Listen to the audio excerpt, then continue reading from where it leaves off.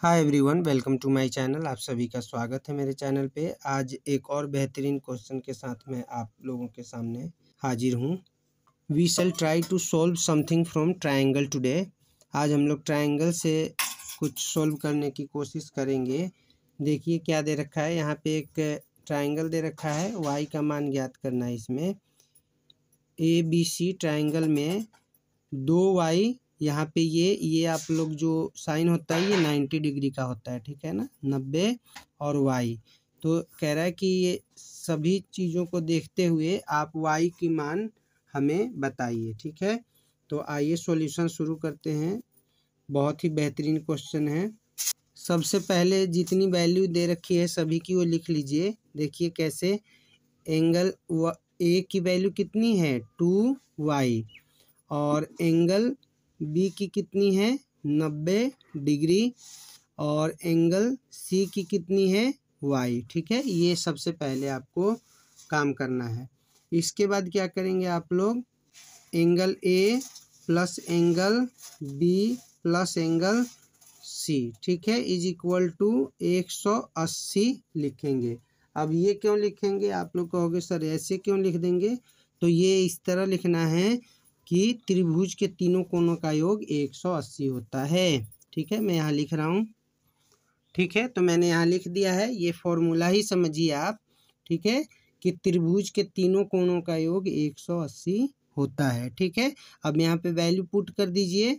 देखिए ए की दो वाई बी की नाइन्टी डिग्री और प्लस सी की वाई और इसके बाद क्या करेंगे? देखिए, दो वाई और एक वाई तो कितनी है? तीन वाई प्लस नब्बे डिग्री इज़ इक्वल टू ये भी डिग्री एक सौ अस्सी डिग्री।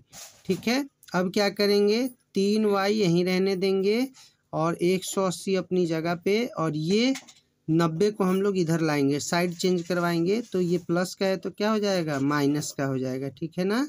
जब भी ट्रांसपोजिशन करते हैं तो माइनस हो तो प्लस और प्लस हो तो माइनस, यानी साइड चेंज, साइन चेंज। अब इसके बाद तीन वाई बराबर, यहाँ देखिए, एक सौ अस्सी में से नब्बे जाने पे कितना बच गया? नौ दूनी अट्ठारह यानी कि नब्बे, है ना? तो यहाँ नब्बे डिग्री, अब यहाँ से हमारी वाई की वैल्यू निकल कर आएगी, ठीक है?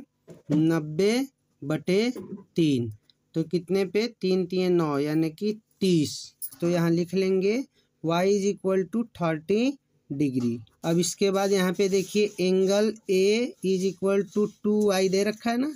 तो क्या करेंगे? दो गुना, अब y की वैल्यू कितनी आई है? तीस, है ना? तो क्या कर देंगे?